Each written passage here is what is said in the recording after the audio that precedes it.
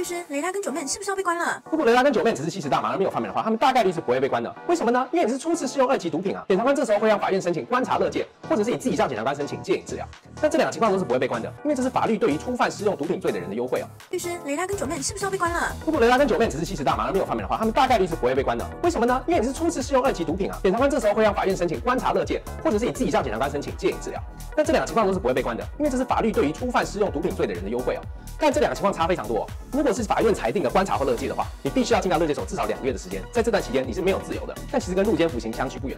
但如果你成功争取到检察官下一个负戒瘾治疗的缓起诉处分的话，你就不会被剥夺自由哦。你只要按时到医院接受戒瘾治疗就可以了。不过这份戒瘾治疗申请状写起来是不容易的，我会建议请律师撰写比较好。